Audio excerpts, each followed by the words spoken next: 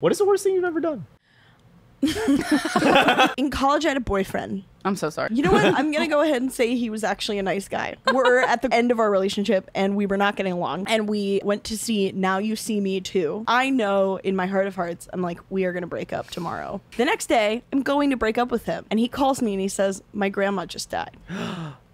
And I went, I'm so sorry. He was like, I love you so much. Never leave me. I was like, I love you too.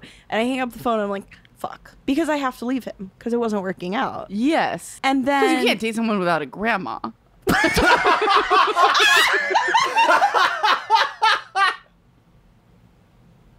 I don't know what that means. Yeah, You okay. gotta keep up appearances.